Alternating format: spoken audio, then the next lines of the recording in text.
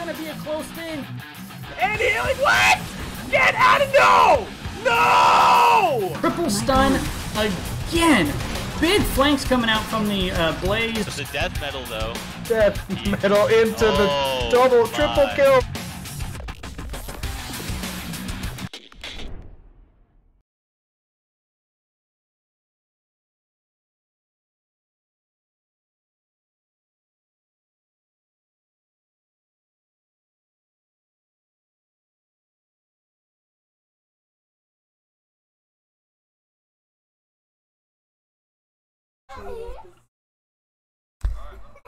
Welcome everybody to the stream. Here we have Division A, a few loose screws. Well, it's just a few loose screws versus Regen Ghost. Um, both these teams, I think, sitting in about the middle of the pack of the division. Let's actually go over the standings, which I'm sure you guys got a good look at prior to the start of the cast.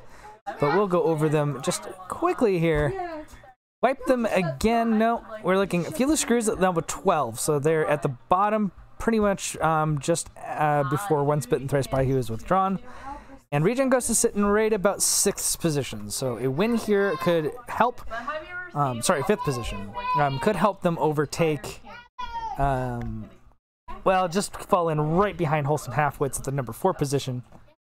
Um, and a win for uh, Few Screws could potentially put them uh, right about behind In Too Deep. So, um, you know, they could at least start a bit of the climb. Uh, we have our. Oops, wrong one.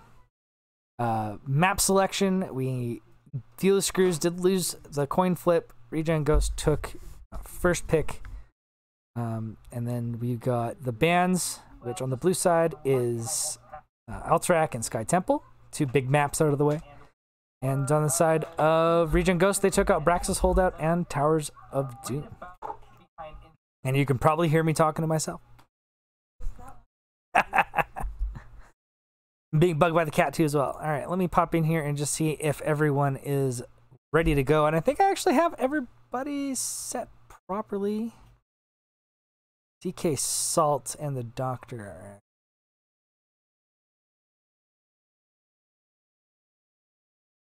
but he kind of left. Apparently, got kicked out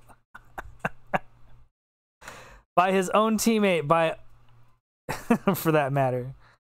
Um, yeah, this is correct. We have here is DK Salt, the Doctor.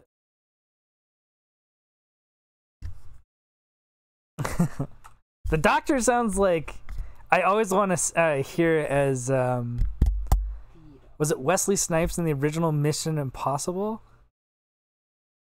No, no, no, no, it wasn't. Um, it was uh.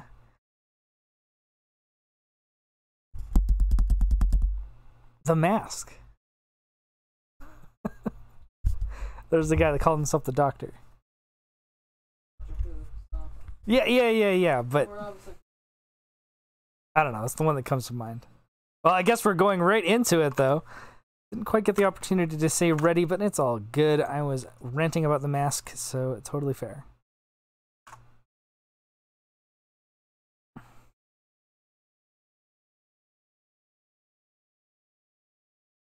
And here we go. We have audio. We do. The question is, do I have audio in game?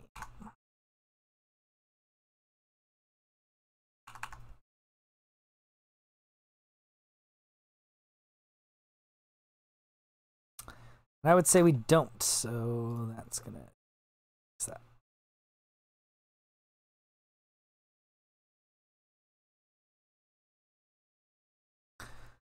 Alrighty then.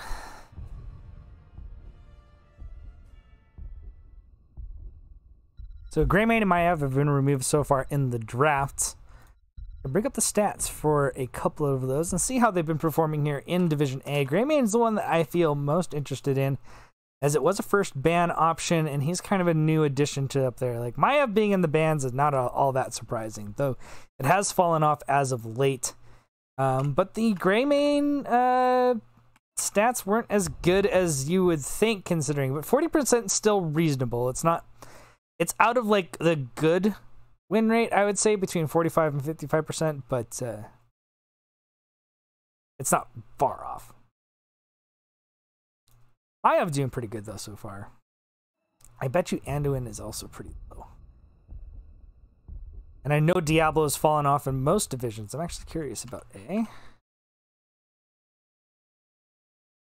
Yeah, 29% win rate. Still picked quite regularly at 60%, but 29% win rate versus something like Johanna, which I am sure in almost every division is performing well, sitting at a 59% win rate the 96 participation. So that's pretty much the best tank. And as we see, and is predictable, is right there um, at the top of the draft. ETC is also quite viable right now, and we'll see if that gets picked up. But so far, not the case. Templart is going to pick up the Johanna. And on the other side, we're going to get Kael'thas Stukov. Now, and it is Infernal Shrines. Um, this is a map where both heroes uh, I do, do tend to get value. Whip out. So.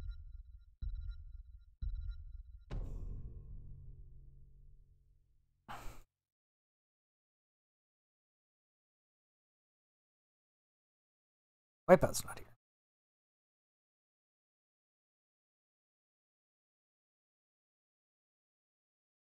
There we go.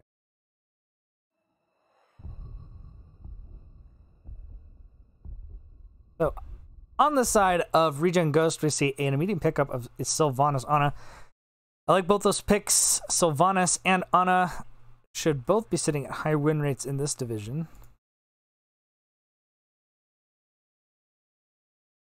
Yep, 54% for Ana. Sylv is at 56. On this map in particular, I really like the way that that amplifies the objective, and Nano Boost on Sylvanas is actually pretty good, um, especially with certain builds. We're going to get the ETC, as I stated before, probably one of the best remaining tanks. And his win rate actually reflects that too as well. The Doctor's going to pick up Kerrigan. I like the Kerrigan pick. Now, it, it can be flexed to an off lane selection, which is risky. It does limit your, your front line because it becomes conditional. Kerrigan's survivability is very conditional versus other heroes, which is more base basic. It's all about her ability to get stuns and get shield built up through damage, which takes time um, or at least being enabled long enough to do that. We're going to see Cuban Missile pick up the Raynor Tweet on the Blaze. Um, I like Blaze. I think he's under underpicked, but I also think that he's a hard hero to get uh, great value out of unless you really know the hero. Um,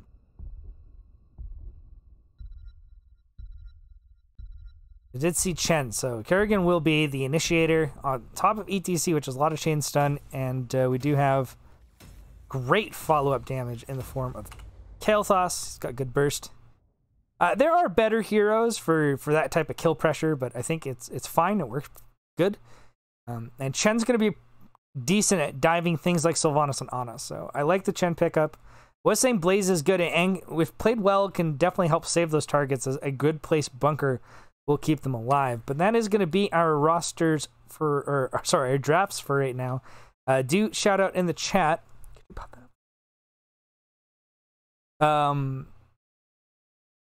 Yeah. Anyways, tell me in the in chat who you think's going to come out on top with these drafts. Uh, I think there's arguments for both. There's a really strong early game for the side of few loose screws here. Um, but uh, you know the the damage potential of Sylvanas Raynor cannot be understated. It is huge. They've got good wave clear in both Johanna and Blaze.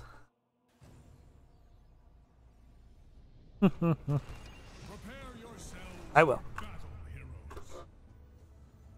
Alrighty then, we're going to start off this game here. On the blue side, we have Few Loose Screws of Cash playing Kael'thas Ragnarok on the Chen, Lompico playing the Stukov, the Doctor playing Kerrigan, and DK Salt on the ETC. On the other side of the map in the red, we have Regen Ghost, Cuban Missile on the Raynor, Shriv playing the Ana, Zulkin on the Sylvanas, Shui playing the Blaze, and Temple Art on the Johanna. So let's see about the opening the the opening handshake. If any of the teams really commit to anything here, or if it's just going to be a bit of posturing, looking to see if they can get that wave clear. I mean, that's generally when the fight does occur. We do have a Kerrigan, um, which means if she finds any backliner in this opening engagement, it could be a kill. But, you know, it, it's risky to go in that early to da damage. I'll quickly pop up the um, the talent screen for you there. We do see, again, a lot of pressure being applied to Cuban Missile. He does get uh, a good heal up there by Ana, plus his own self-healing uh, to do the trick, but that was very near a kill. Um, I don't see anything too crazy here, just some indicator of what we're going to be getting into the late game. Uh, block party instead of prog rock, so not looking for the stacking healing, but more of just the reduction in physical damage. Um, and I think that that's a, a, decent pickup. They do have two heroes that rely quite heavily on auto attacks to do damage.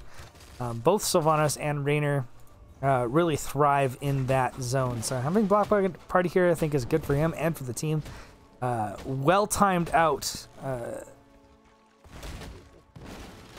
it'll be it'll be nice to have. But we do have two fast auto attackers, so given the fact that both of them can kind of open up and do the fire, that 75 damage is only going to go into stall out so much. And that's one of the major issues I do have with any type of block. Cuban Missile does it push down pretty hard and is just trying to kite himself out of terrible danger, but Lompico walks up and does the backhand with Stukov and to get the kill, but ETC was a little bit overcommitted. Um, the rest of the damage goes in, but a nice combo onto Zulkin is going to secure that kill. And it's a two for one for um, a few loose screws uh, in the opening exchanges in this game, and they're actually about a half a level ahead, which is really good um, place to start. Shui and Ragnarok dueling up here in the top line, but uh, you know, a few loose screws.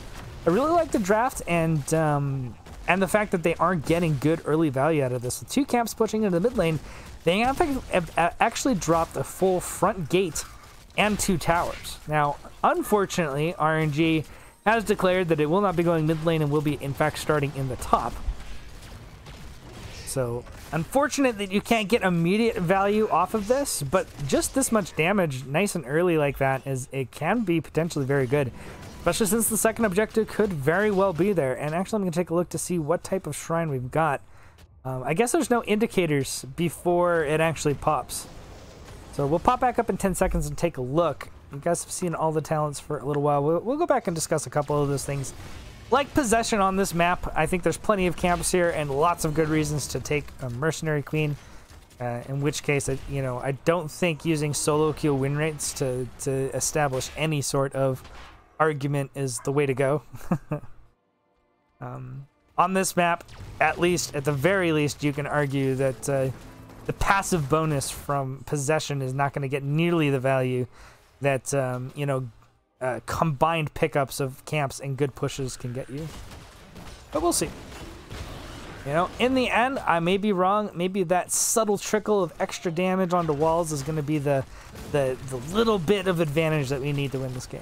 Who knows? I could be wrong. And, and I'm often so. So.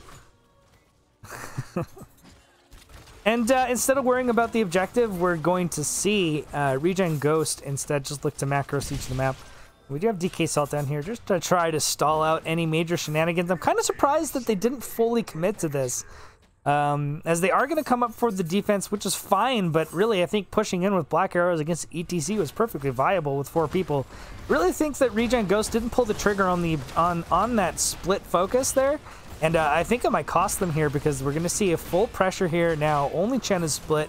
Raynor is split the match, which means they don't have like consistent poke damage onto this. The only saving grace about this Punisher and why it's not going to get more damage than it did was that it was a Mortar Punisher and not a Frozen one. Uh, but here's going to be a kill perhaps on Johanna. She has nothing left. Ana has to keep her alive. But instead, it is ETC that stayed too long.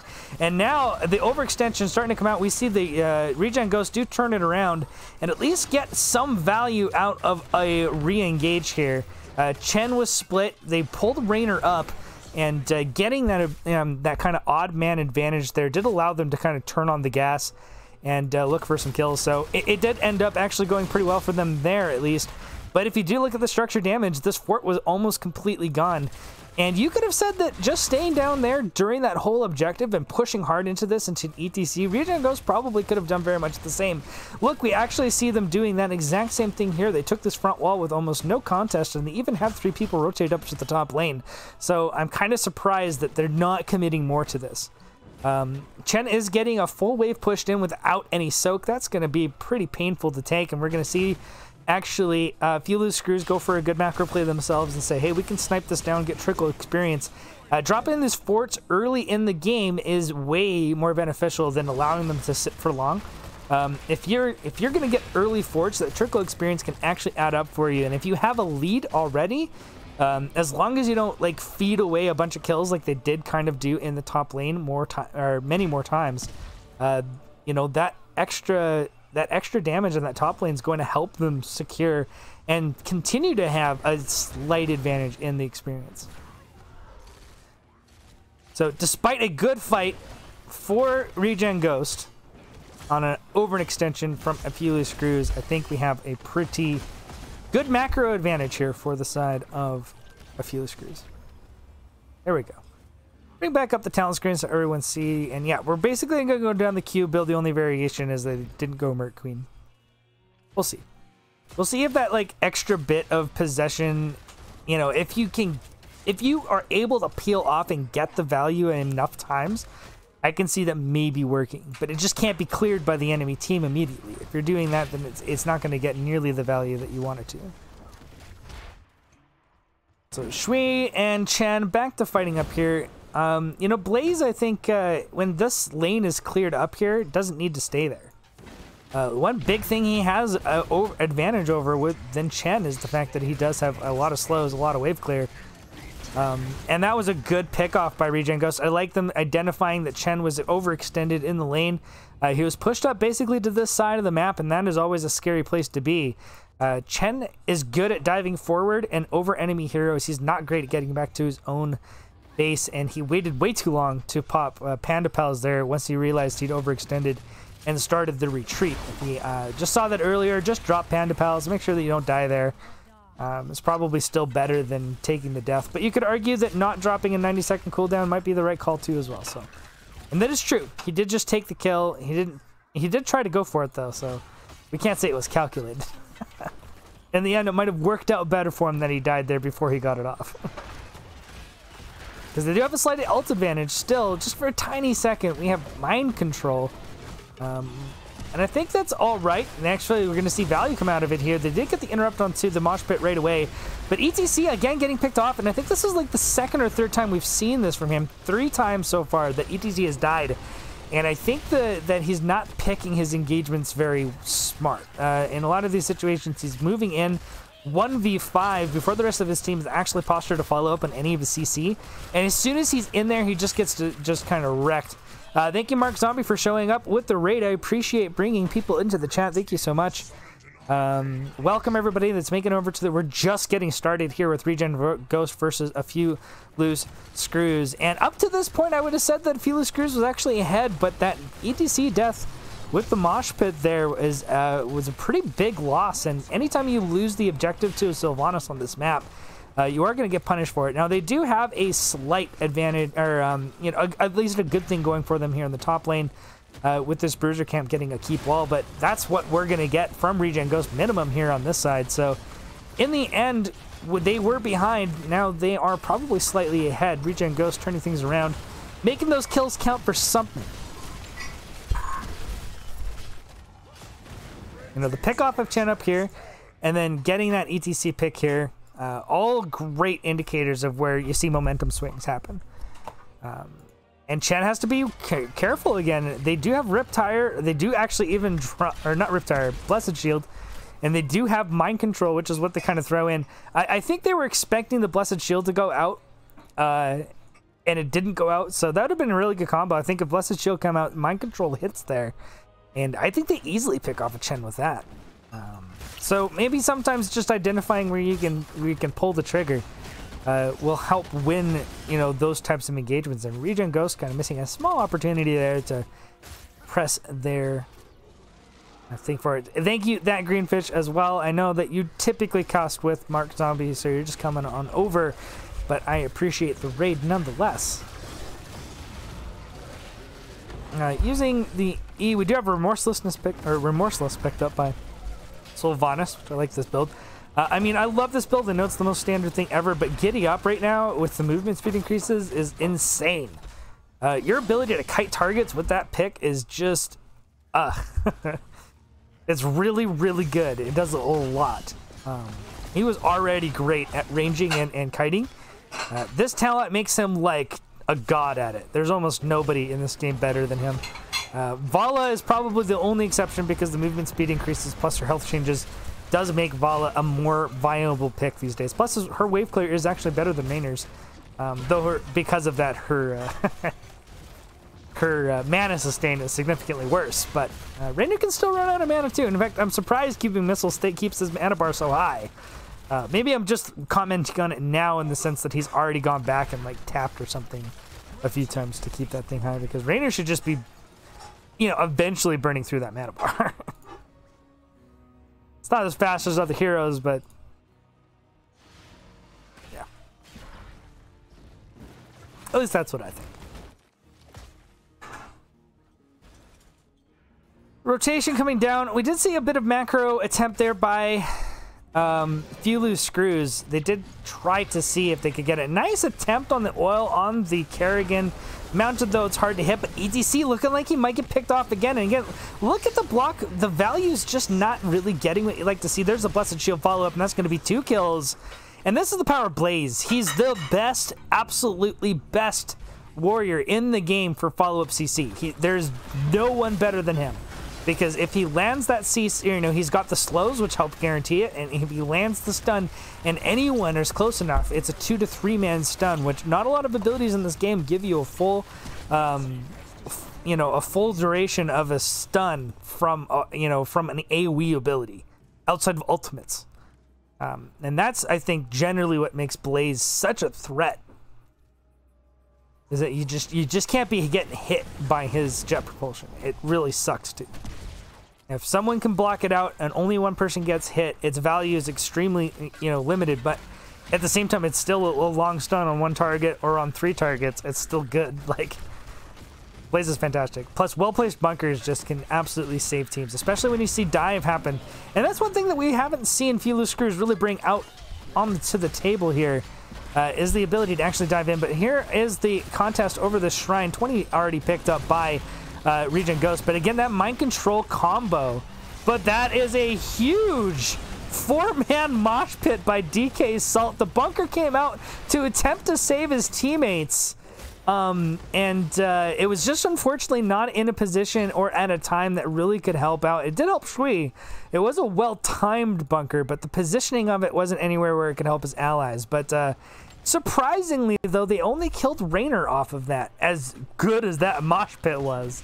Um, and that's the power of ETC that we're seeing here, and why he's being taken so much more frequently is his ability to just change team fights. But that one pickoff could cost them, but no, there's the follow-up stun from DK Salt. And now we're seeing the backliners kind of get picked off here. Uh, Sylvanas goes down. Shriv, I think, barely gets away. Nice stun by Shui, but because there's no fort here, he might have overextended, and I think it was completely unnecessary for him to go for that stun. Uh, Ana was basically away. I don't think that they were going to catch her um, at that position. She was close enough to the keep that running there would have still been safety. So again, we see it. A momentum swing has occurred here. That mosh pit from DK Salt setting up a lot of chain staggered deaths against Regen Ghost, who are starting to lose control of this game. Um, and the top keep went down, so even thinged out structurally. We do have a frozen Punisher. And the problem with frozen Punishers, I've said here before, is the fact that because they stall out the damage from the objective, they stay alive much longer, and they're always a threat with this big stun. We see the jump coming up from the Punisher, putting on top of Johanna, but it is in fact the changed uh, direction onto Cuban Missile. The stun did come out, but there wasn't any initiator from ETC prior to it, so they couldn't quite lock him down to get the damage in. They needed to get the kill. I think if the follow-up is a little bit better there, it, they definitely do kill him. But the uh, Panda Pals get stalled out. Great three-man pull into two-man stun, and that's probably going to actually end the game here. Few Loose Screws finding the kills really quickly. The shields are gone. The damage is done. Ragnarok will get poked out, so they might be able to stop this from being the end of the game. Zulkin dodging bout, dropping the bomb onto Shriv, but does survive, so Luckily, Regen Ghost here have not have not lost this game. They do stop the core from going down any further. They are still down two heroes, and that means Few Screws is going to have the advantage when it comes to the level 20 talents on the next objective. But Regen Ghost is not completely out of this. Keep in mind, bottom keep is gone. If they win any late game team fight from this point on, they very well could also turn around and end this game. So it is not out of their hands yet, but they do need to take a 5v5 prior to level 20s being picked up by Fuely Screws. And Fuely Screws at this point with two keeps down in the mid and top lane uh, can kind of just clear bot lane, avoid fights. But here comes the engagement. Uh, Johanna getting in there, trying to force this out. We see the stun combo, Blessed Shield into Mind Control coming in, and that is a kill onto Kerrigan. Exactly what Regen Ghost was looking for, realizing they need to actually end this game. They're looking for more kills, but unfortunately, that's not going to be enough. They will have to send Shui back and probably Zulkin now. Back to the core as we have a Bruiser camp and two catapults pushing out the mid or the bot, top lane.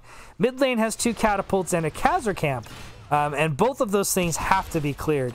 Now the thing is, is that the the waves are cleared up to them, which means soaking for um, Few Screws at this moment is basically bot lane. Uh, they cannot go onto this side of the map.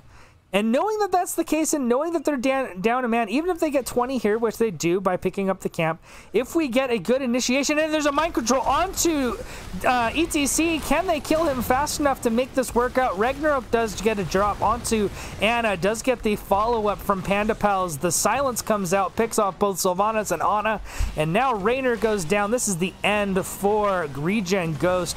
Game number one is going to be going in the hands of uh, few loose screws picking up the victory here in what many would call an upset from the last place team. Fifth seed versus 12 seed, and the 12 seed's going to walk into Infernal Shrines and absolutely get the victory. Um, it was back and forth throughout that game. There was definitely no clear winner from the start, and uh, Regen Ghost definitely were is still in this game all the way up until that fight. Um, they didn't get the pick onto ETC. The follow-up damage was just too much. The Chen Panda Pals followed by that silence from Stukov. And it was just it, you know. Three go down almost immediately, and then the follow-up uh, Mosh Pit to secure the kill on Johanna was enough to just finish it off. And that's the end of the game. GG. Game number one.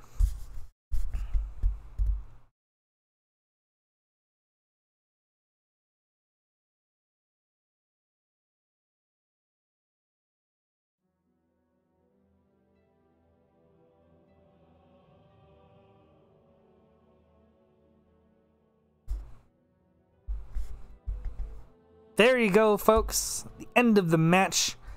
Few loose screws coming in and absolutely uh, saying we will not be, you know, denied. 12th seed, we don't care. We're good enough to play any of you. We're going to take game number one off of Regen Ghost. It was really close. It was a good game both ways, though. Um, quite happy to see it. Let's pop up the talent tree so people can take a look. And, uh,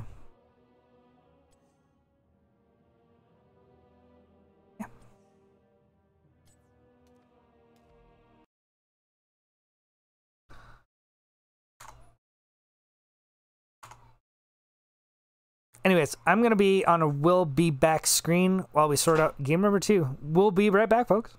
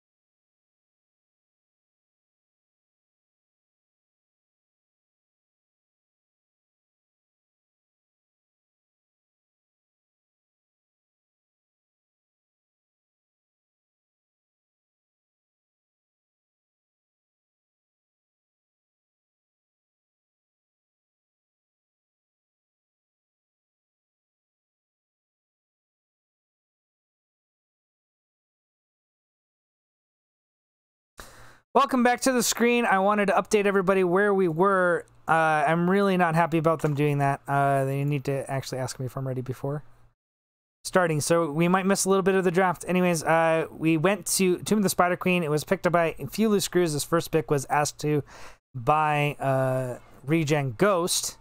Um, and so we'll be popping back in to that very shortly.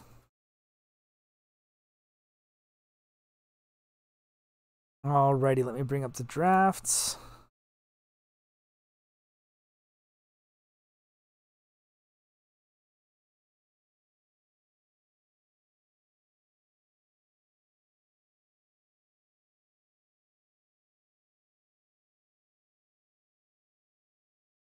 And so Sylvanas was the first one banned out in this matchup. Um, you know, it, it's always a threat, and they, we saw that when they took bottom keep. Uh, and the mind control follow up to the Blessed Shield initiation was originally getting them kills. Um, it, it, probably still could have done so in the late game, but they just missed a couple um, of the combo opportunities. Uh, they got a little bit desperate and weren't quite getting the appropriate combos at the times they needed, and that cost them, unfortunately. But I mean, it was still a potent combo and definitely worth banning.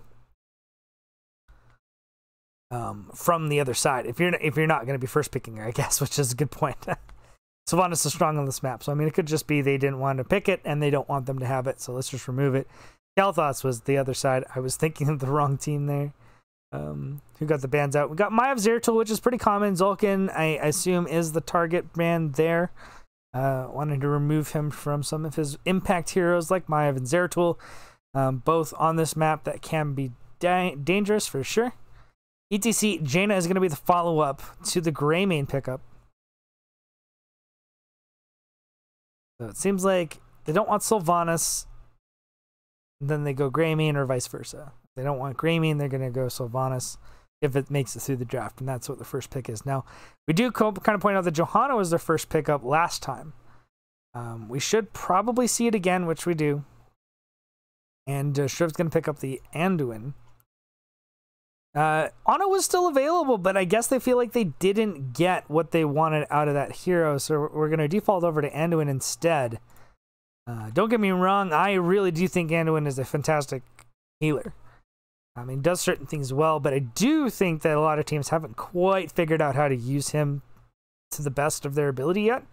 And I think that that's something that can be considered here, uh, at, you know, whenever you're thinking about picking that hero over other options. Ana's been around and kind of in the meta for at least a little bit longer. So generally, players have a bit more experience on the hero.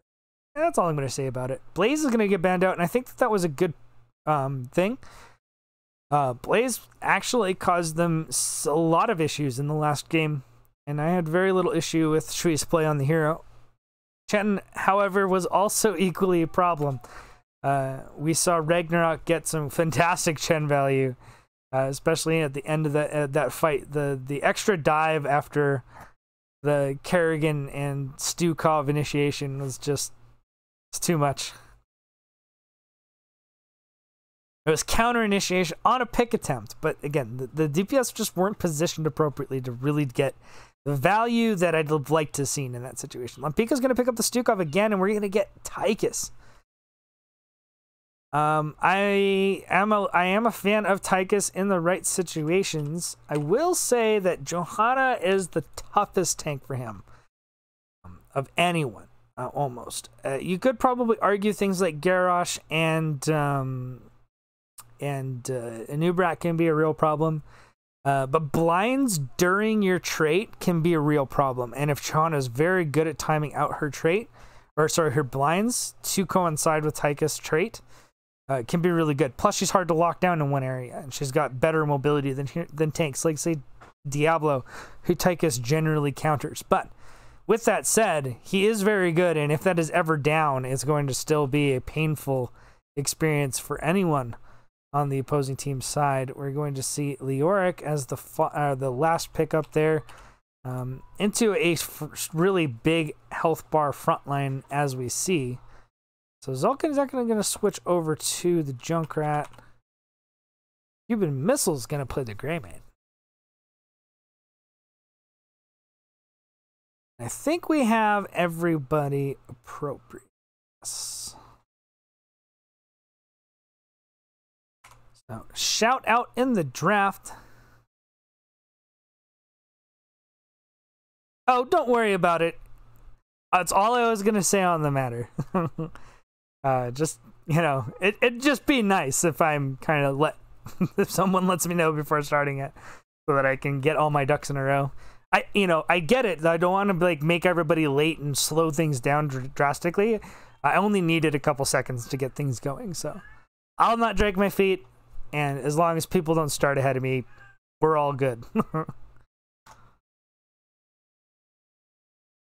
all right, here we are into game number two. Few loose screws coming up with what many could say as an upset. Uh, in game number one, taking the victory, then the lead over Regen Ghost in this match.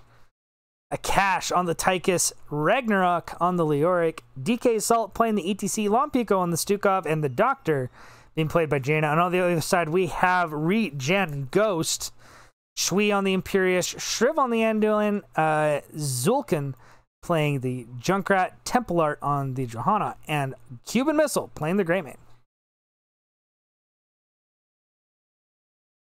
Yeah. Okay.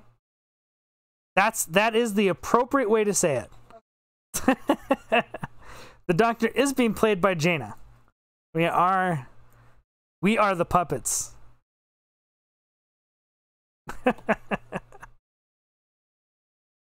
well, this opening handshake being a little bit more interesting here. Kind of. Still nothing fully happens there. Actually, the first one from the last game was also pretty good. Jim the Spider Queen kind of like appeal eh, like it generates a lot more conflict in the early game because of how close these lanes are together and how close each team has to be to each other when they're rotating. Sort of like like Towers of Doom, except that lane's a lot longer, so you don't see the rotations quite as frequently. Um, this one just absolutely gets people brawling, but a lot of teams spend their time doing their best to kind of avoid each other. Like it's funny because they, they just dance around the edges because they don't actually want to like get picked off. But we are going to see some aggression coming here from DK Salt onto Templar. I don't know if he's used his trait. No, he was saving that very well. The blind does come out, but they did get a lot of pressure onto him. Johanna dropping pretty low in that fight, but again, had a big trait, had the tap available, is just going to heal up. It's nice to be able to get the tap early um, but that's kind of the thing about Johanna is she's going to be hard to pick off in those situations. Whereas um, Tychus can really pressure other tanks, including things like ETC, by getting any substantial CC onto the target long enough for him to get value out of the trait.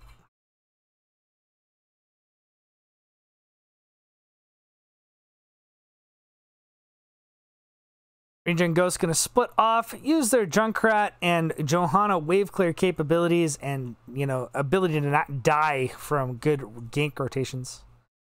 To kind of clear this up while Greymane and Anduin go working on the mercenary camp. They're going to get that out nice and early, and I like early pickups. Um, it, it can help you establish that lane control um, if you've got good siege, it can do really good on, uh, you know, getting good mid pressure, which is nice to get those walls down before an objective. Uh, a bit of an engagement does come out onto Zulkin, but he does drop a defensive uh, concussion mine and saves himself some trouble there. Bruiser's actually going to push up onto the wall and do some damage, but it's not being pushed in by Regen Ghost, so it will get cleared up on the rotation from a few loose screws. So early camp not getting as much value as I'd like to see um, with teams being a little bit more active in trying to get value out of it. Uh, you know, you can generate fights, and, and, the thing is, people are so afraid to fight pre five. You know what I mean? Like they don't like to do it until they hit like tens, basically, um, unless they have a huge advantage. And I think on this map, you can create advantages nice and early. And early kills might not add up a lot into experience or anything like that, but they can give you good advantages on certain maps that are definitely worth trying to generate. So we're going to see actually Akash trade pretty well into Greymane there, taking quite a bit of his health down and uh, walking away without much of a bad trade there. So really good trade by Akash. I was quite impressed, impressed with that exchange. Junkrat getting engaged on by DK Salt, but he did probably overextend for that. Um, they do get Zulkin down low, but unfortunately the Doctor had already used his combo, and actually the uh, return kill is going to come back out from the rotation of Regen Ghost. They're going to get, and Jaina might actually be in big trouble here. The dive coming out from Greymane, but he has to walk through a Blizzard to do any extra damage, so he's going to back away. Good pressure, though. And uh, First Blood's going to be Regen Ghost, so the rotation in the end being the victor there. Uh, staying ahead in the experience in the wave clear and then making that fast wave clear rotation allowed them to find an overextended ETC with a low health bar, and that was definitely worth getting the kill for.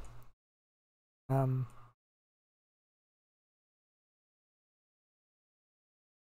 I still think that they could have bullied this rotation a bit more. And those are kind of like the mid max areas that you can see some.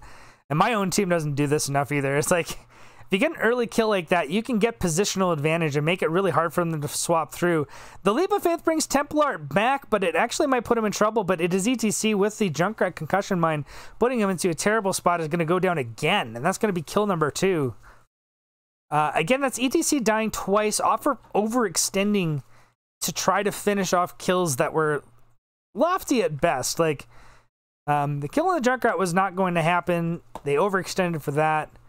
The and in that situation, the the kill on the Johanna was just not going to happen, and uh, they overextended for that. So. Um, I did think that the leap of faith might have done more harm than good as it kept him in range of the Tychus, but luckily, Tychus was just using his um, uh, Q ability, whatever it's called. Um, so he wasn't going to be able to trait onto Johanna in that situation, but because of those kills on ETC, we're going to see first uh, Webweaver phase go to um, Regen Ghost, and they're going to get a kill onto Jaina, who is a bit out of position. And that's going to be a follow-up kill there of Stukov who had also stepped himself out of position trying to keep his team alive. And that's going to be two more kills from Regen Ghost. They are taking no prisoners in this matchup. After a disappointing game number one, they are coming back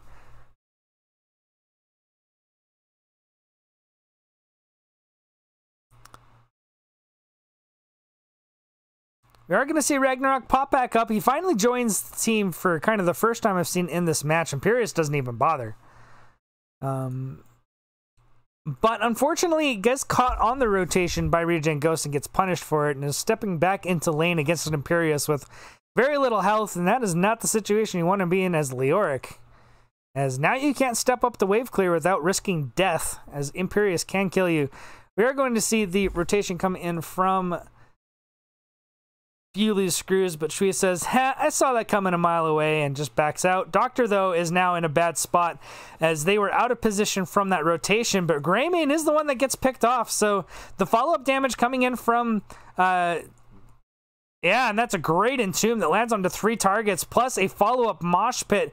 And much like game number one, we see is that mosh pit get the value it needs to secure kills, and now things have turned on its head again against Regen Ghost.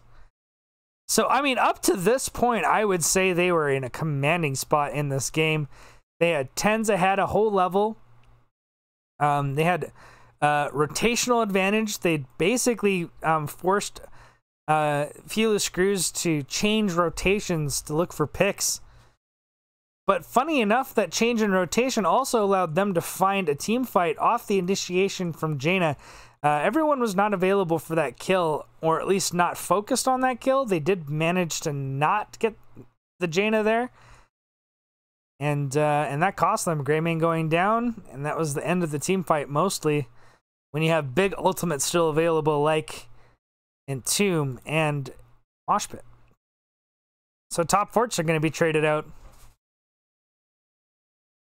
And where Regen Ghost was once ahead, they are now behind. As it has flipped over, the experience lead is now is substantially in the hands of Few Loose Screws. Um, they traded out the top fort, so they're structurally in a similar position. Though with more front walls and less damage on forts, so I would say they're actually in a better spot.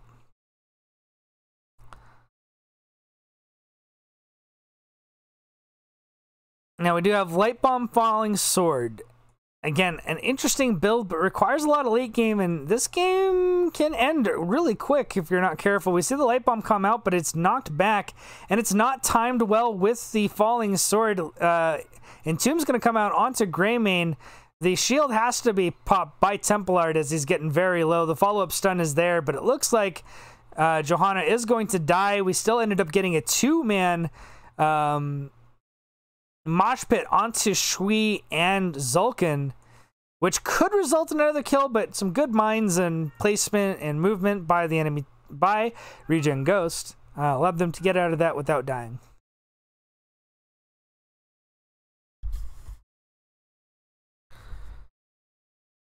Oh, I camera fell.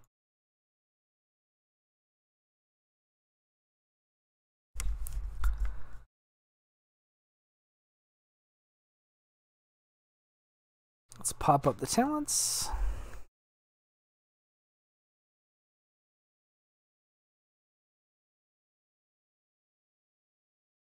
So mid's gonna land on this next Web Weaver phase, picked up at 13s by Few Loose Screws. Good mine on DK Salt, basically to force the power slide out. Here comes the Light Bomb Falling Sword, and now we might actually see the value. And just like that, Regen Ghost flips it around. They get two kills, three kills for nothing. They will save the mid fort for now and should be able to safely clear bottom and top without losing any significant structures.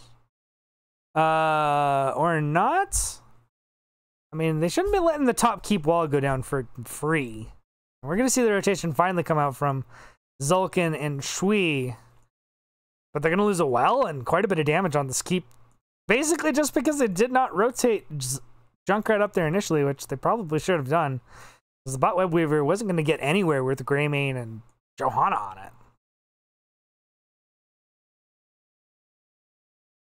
But why be critical in a moment where we saw Regen Ghost perhaps reestablish them back into this uh, game? They're 20 away from a turn in. Uh, they took back uh, that huge loss in experience that they did suffer at the hands of Few Loose Screws and now pulled within about half a level, if not a little bit less than. Both camps are going to clash in the middle. It is Ragnarok who gets the initial clear going on it, so one camp is going to be in a weaker spot. Templar pops up though with conviction, conviction or con, conviction or condemned. Jeez, what am I talking about?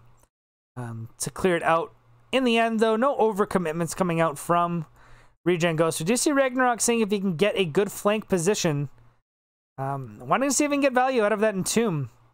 And here he goes. He's going to drop it right here. We see it land onto Shriv and Zulkin. And uh, it's going to be a mosh pit onto Anduin, but it's DK Salt that goes down as the follow-up damage just wasn't quite in position. We're going to see the Light Bomb plus the Falling Sword come out, land onto three members and now that's going to be another three for nothing. So Regen Ghost, again, not looking for a repeat of game number one, are actually going to turn these late game fights in their favor and, in fact, start getting the kills where they need them. They have no more forts left, but with that huge four man kill, um, they can actually stack both Web Weavers and the boss here. Um, I do want to see, you know, uh, Shui go split off and put the gems in. He should go do that right now. Ragnarok's gonna spawn here. Uh, I'm not sure about this.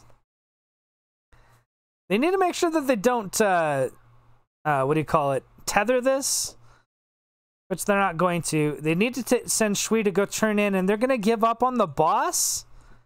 I mean, why?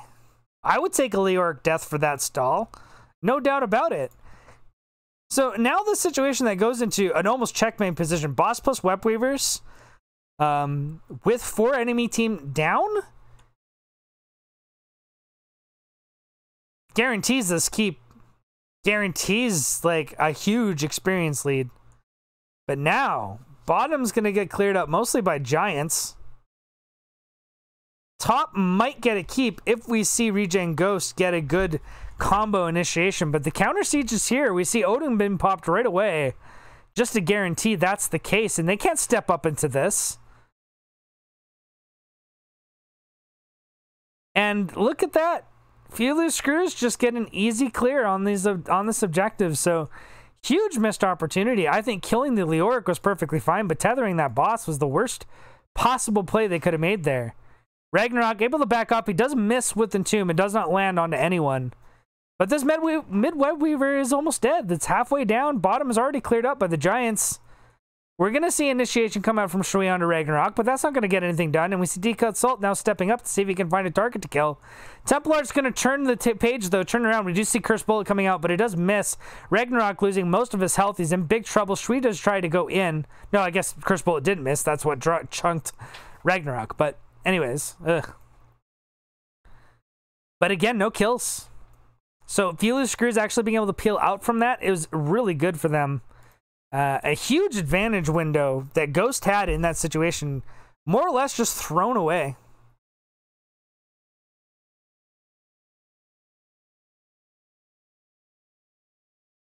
Yeah, I, like Ragnarok's, it, the play ended up being really good. I was concerned about it because it got him killed. And uh, had that boss not tethered and they burned that down, that kill on Ragnarok, staggered in that situation, Leoric or not, was a bad play. But because they tethered the boss, it was a great play and ended up paying off exactly what he got out of the risk. So, I mean, that whole Webweaver phase was completely wasted. They got no boss, and uh, all those kills that they did on their side of the map basically turned to nothing. Uh, Few Loose Screw still commandingly in the lead here, I'd say. And in fact, they've reestablished their hold on the experience. So things uh, looking up for Few Loose Screws. They're still slightly behind in gem count, but that can be made up pretty quickly here. Um, especially since Regen Ghost is playing playing back on their side of the map, which actually is giving up positioning on this turn-ins, which I think is a risky move. Uh, ETC is going to pop up here and ward boss. Just make sure that doesn't happen. Maybe even to see if they can bait Ghost into an engagement up here. Um, given their current situation, I think going for a boss here is risky, but it hasn't been scouted yet by Regen Ghost. We do see Templar making his way up, and the amount of damage they've done so far on this is too low. Oh no, it didn't land, but they still get the mosh pit kill onto Johanna here. That's, uh, yeah, problem with the uh, team being split. He doesn't have Entomb, though, so they can easily peel back from this. But now they do forfeit Boss um, to a few loose screws. And they also have turn-in. Uh, I'd really like to see them actually set that up, but they have all of their turn in pretty much spread across uh, at least two heroes here, so they're not going to be able to stack these right away. But boss has to be responded to, so they should be able to get it off of the back of a boss. The engagement comes out onto Ragnarok, though, and that's 15 gems, which is what they need for the turn in. They don't have enough now, so boss is going to push in. Uh, we're going to see Regen Ghost go up to clear it. They do now have enough, though. They do. It's 20, so they should be able to turn it in. But that really delays it out. They're probably still going to lose top keep. But they should still be able to mount some sort of defense here. But let's just say this: it's still a it's still a bad spot for Regen Ghost.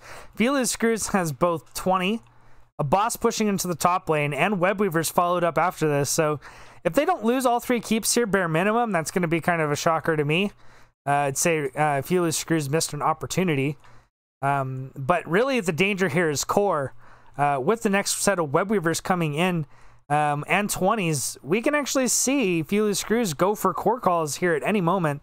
And Silence and Tomb is enough to end this game, so they really have to be watch out for this. Uh, Massive Shove did get used, but it's a damn short cooldown, so it shouldn't be a huge problem here. Webweaver is going to push up. We're going to get Odin in behind that. Great siege tool. We'll see if he gets the full duration attempt to do it. Templar steps up to see if he can disrupt a little bit, but we do see all of the lanes being pushed in hard. And it is Greymane that gets almost super focused down. I think he walked away with literally 14 health. That's quite insane. We saw Light Bomb come out plus the uh, Falling Sword. They do get the kill on Jaina, though, so the defense might actually be coming out here. Lompico's going to go down, and this gives me a real problem. We see the Mosh Pit, though, being dropped uh, just to try to keep them. They do get the kill onto Greymane, who should have died, actually actually a long time ago. Uh, we're going to see the follow up, see if they can actually kill off DK Salt here. Bottom keep is gone, top keep is gone, middle keep is about to go down. But if they can turn this around into kills, they can turn this game around as kind of dire as it's gotten right here. One catapult, though, still on the core. The mid keep is basically dead. Regen Ghost is still in this game, though, folks. and they have a big window to actually turn things around. If they get this kill on Ragnarok, things can actually be pretty bad here. Um, they get a turn in um, and push up top lane. They can get that keep and perhaps even uh, start looking for the end of the game themselves here. But things are desperate for Regen Ghost. Do not get me wrong. They they are not in a good spot. they they flat out have to get a turn in and actually end off this turn in. And uh, you know, there's still a call here that can be made by uh, if you lose screws, or they can just go core. 35%, they can backdoor this if they can find a way to sneak around through the lanes well enough. Um, and we might actually see them come out onto the map to do that, though they are going to go for the mid clear, which means they can't do anything too sneaky here. And the Regen Ghost doesn't really care about mid. That that is a non-concern for them. Uh, bottom lane is the point. All they really want to do is get kills here so they can push up with the thing. And there goes the light bomb into the falling sword. It might actually be enough to get the initiation they need onto Lompico. He goes down. That is a kill. DK Salt, not much better. There goes the Angelic Armaments to get the pick off. And what we need to see here was Templar not die, but he does. Shui is not in any better spot. The Winter's Mute from level 20 and the Odin are getting the value needed. And that's a three for two, four for two. And I think this might be the end of the game. Um, Zulkin doing his best, but that's a silence tomb, and he's going to die. And Regen Ghost, what looked like a great start to this, is going to lose. And that's going to be a 2 0 victory for few loose screws. As I said before, it was a risky situation to, from the get go. That level 20 from from Jaina did a ton of work in that fight. Oh my gosh.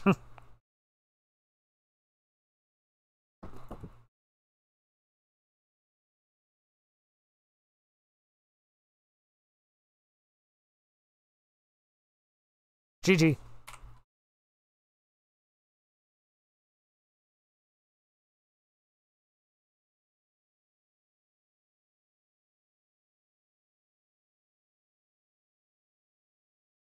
Uh, that, both games, one and two, are extremely back and forth. But if you lose screws, you know, in both games we saw great control. Um, they made some like major errors in certain areas, but they still kind of played the macro well. Um, you knew that they were going to stock the boss and Webweaver, and that was going to be the end of the game. Um, but I don't think they anticipated Regen Ghost going for that pick off onto Leoric, which changed the face of the game to some degree. Like again, they had all of it.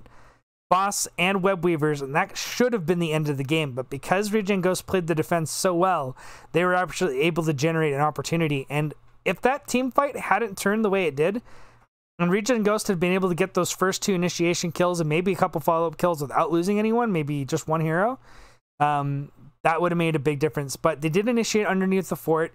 It is what killed off Templar.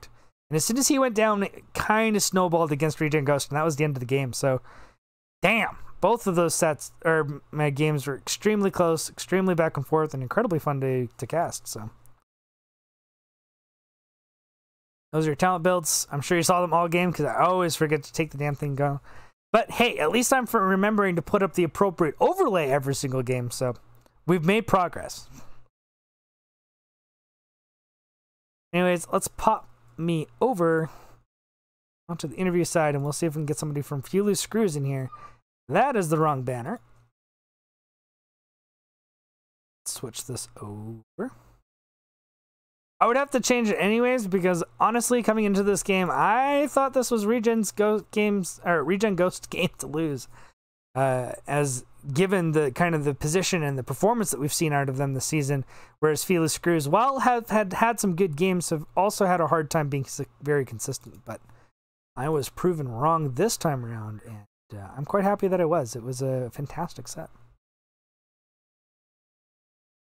So pop back into the game, see if I can get somebody in.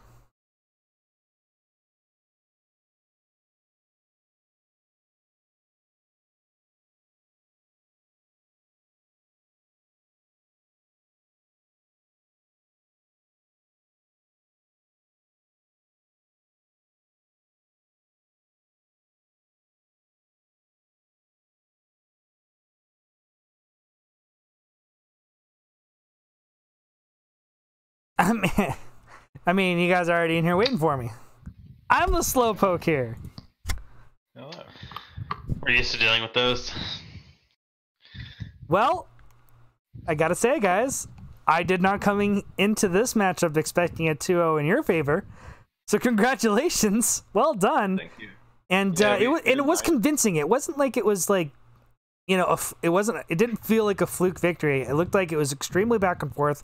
Both teams in both games had opportunities from start to finish to to, to come out on top, and uh, you guys just kind of ended up making the better plays in the end more consistently. And I think that's what it all boiled down to. How are you guys feeling about it? Yeah, we're great. Pretty good. I'd like to shout out my personal coach, Slexia, for all of her support and uh, how much we she's done for me. And uh, and I also want to shout out Kerrigan from game one. Like, Yeah, she really pulled together that last fight and That last really, fight, really I- showed up well for the team. I don't even know how I did it. It felt like I wasn't even pressing my buttons. It was just I became one with the character. Well, I mean, it, Uh. it was one of those scary situations because uh, they failed on the pick on ETC. Had they succeeded on the pick on ETC, things could have gone pretty badly for you guys there. But he was managed, you know, was able to peel away because the rotation from you guys was in was in was swift, and the response onto the backline was really good. And then that, uh, yeah, the Kerrigan dive plus the Stukov silence after that uh, made it very difficult for them to be able to survive through the initiation. And you did a well, good job, uh, kind of closing out that fight, which ultimately won the game. Uh, that's actually a thing that we have practiced. Like it looks like ETC's overextended, but I think it was like game was it game four Yeah. this season. We we like did it on accident and realized that the the combination of Kerrigan and Chen diving on with the Stukov silence after they burned all their buttons on ETC is pretty pretty good. So we we haven't named it. If you have any suggestions, I'll think about something. Sure, no problem. Uh, so that's a strategy. You guys dangle the ETC out there for everyone to kind of go on to. Um, do your Yeah, best to I mean, support him through player's and then walk out. horrible. Yeah. So he's always overextended. So we're just kind of trying to make the best of it. yeah. Um, I don't think that that's true at all, but uh, I mean, did you see Game Six of the season? He was just like on their side the whole the whole time. uh, you know, uh, sometimes you, you with ETC you, you just feel so invincible because you generally are. You, you think you can stand anywhere you want. So The best Um, part of, of DK's ETC is that he always accidentally picks the talent at level four that lets you go through terrain, which everyone knows is just a shit talent. But like, it can and save he you doesn't though. mean to do it. He just I just I every time I hit the number two because I'm used to playing Li Li. Like Li Li's my main, and I always take the number two talent. So whenever I'm not playing Li Li, I just always select. Yeah. I think just that there's so it's a much more utility available for the extended range on the W that that's er, is why everyone takes that instead. But you know, if it didn't have to compete with that, I don't think that power slide over terrain would actually be that bad at all. Especially if you have good vision control, like things like Hanzo or Lunara, where you can kind of scout out rotations. You can get some crazy, probably mosh pits out of nowhere that no one expects, though, with that talent. So hey. I'll defend it. The the nice thing about the extra knockback on the W is you can make sure that you knock them out of Blizzard before the second wave hits. Like if you don't if you don't get that, then the second wave hits them, and then I get more damage. Hey, Exactly. there you go. Exactly. We Anyways- would have been practicing it. It's In- our only combo. If they had banned ETC, would have been Yeah. over immediately. In I would have done more damage. in game one though do you get were you guys caught a little bit uh, by surprise by the blessed shield mind control Um, we did not expect mind control. i don't think most That's for people do i mean that's straight No- up not nobody the does. pick I mean, generally speaking I think, like on, a, on an ontological level, if you expect mind control, it actually isn't mind control. Yeah. yeah. i think that's true We we've de- you should check out our podcast. We've delved into the philosophical side of uh, talents and seeing how people pick them. i mean feel I'll free to link to plug your podcast i don't care go for it Um, we we definitely weren't expecting that though. I I don't know like what the what their plan was. I would be curious to know because it it worked, but it didn't feel like it was okay. We're gonna mind control the Kerrigan or the ETC. It was sort of like we're gonna mind control whatever's there. Yeah. Um, I mean it, it still worked, but I would think that like a silence on a diving Kerrigan would also hit ETC and Chen and would do a job pretty well too. Yeah, for sure. Um, and you know, I was a little bit concerned uh, in uh, game number one as they did have very good siege or push pressure with Sylvanas Raynor. Um, I do feel it was underutilized by them in a lot of those situations where they could have pressured you while you were focused on other objectives on the map. Um, but uh, game number two is a bit of a different story. You guys seem to have really kind of nailed down the the uh, macro control quite a bit. And uh, despite getting to some hairy situations from perhaps overextending onto the enemy side's map, you never really fell that uh, far enough behind in, in your positioning on the map um, to really be threatened by anything that they could bring back at you, even after getting those kills. The the reason I really like Tomb is that like the terrain is also dark and similar that you can't really tell whose side of the map you're on. So I feel like it, it kind of like lets me not have to worry about my positioning anymore. Um, which their Greymane noticed and he he appreciated that as well. Well, I'm just There you upset there go. was no GGs at the end of the game. That's all I have to say. there wasn't. Disrespect. Huh. I didn't Only notice by that. us. Hmm. I'm upset. Hmm. Like a written formal apology sent to my address. Do they do they have mail in Canada? of course. Um, not yet, but what you can do is Okay. if you walk to the border and just put it on the other side, eventually someone will pick it up and bring it to the right person because Like you a know we all know each other. Right. That, that makes sense. Sure. Um, I was really impressed by the falling butter knife uh, Anduin boom boom combo. Like I didn't know that worked that way. Broken. Yeah. I Like she can jump in the air with the bomb on her and it still goes off. Yeah. Which means it's like an infinitely vertical bomb, even though it's like a pretty small horizontal width.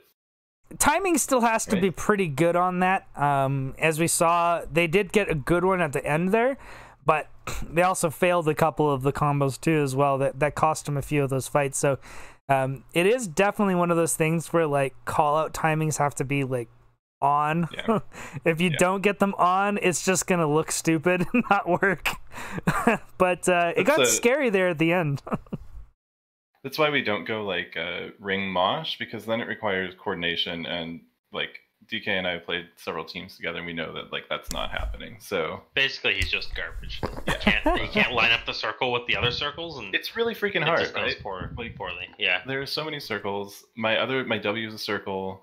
You know, Stukov makes a circle. I, I just get overwhelmed. Joking aside, you still land it landed about two moshes per game that were very impactful and definitely turned a lot of the turn the the the match around. So I, I would say that it did succeed in getting off a lot of that. And as long as the follow up damage is there, you know, it, it doesn't have to be a big wombo. It doesn't have to be a huge, you know, uh, ability. It just has to be everyone coordinated on on similar targets and. Um, I would probably argue that that is one of the things I felt you guys did better in the last game. Like I said, there was opportunities where they did land those combos like Maya Blessed Shield, or, or sorry, Mind Control Blessed Shield, and uh, had Regen Ghost been positioned appropriately, uh, ETC would have died in those situations. But because they Yeah. weren't, it, it, you guys were able to get in the abilities you needed to to stop the the kill from coming through and turn the fight around. Um, and that's what you guys did Yeah. all uh, in both games very well. I you know that with the macro, um, I was impressed. You guys played a good set. I think throughout the season we've like realized that basically we can all just kind of twiddle our thumbs for 15 minutes and then DK will land a mosh and we'll win the game. I mean, that's the thing about ETC, right? And why it's been banned a lot this season. Anyways, um, Um, congratulations on the victory over the number five seed. Uh, does this get you guys any chance of hitting the playoffs? I haven't really done the math yet. Um, I, I don't know if you guys have or not. we have a we have a pretty broad roster, so I think it depends on like who's playing. Because definitely there's a pretty big uh, what am I what's the word I'm looking for? Like skill spread on the team. So Okay. we're all pretty busy. Uh, I think tonight we definitely were showing some of our our stronger play. So so maybe. well, I'd hope to see it, and I think with the victory over the number five seed, you can make an argument for it. Um, this does move you up in that the was number standings. five seed. Yeah. Sorry, I don't. That's, I didn't know. Yep. Do they have tact in Canada? No, we don't even internet. I have to fly to Detroit for these games. Motor City. Let's go, baby. Anyways, floor is yours for shoutouts, guys. Go ahead. Uh, I'd like to shout out my cat Bandersnatch. He's been with me for a really long time, and I uh, I just want to say that I love him. Uh, shout out to the team. I feel like we've all grown really close together over the season, which has been fun. Um, and to my partner Cassandra uh, for supporting me. And shout out to uh, DK's Moshes. And to Regen, what was their team? Regen Ghost, Ghost. For being awesome. And to you for casting. no problem. Thank you. Alrighty, guys. Thank you so much for joining me. Have a wonderful night. Thank you. You too. Bye. Wait.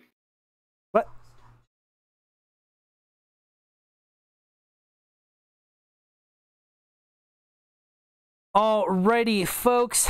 Thank you for showing up uh, to the match tonight. I appreciate it. I came in on my birthday to enjoy some time with you all and to uh, enjoy this cast here.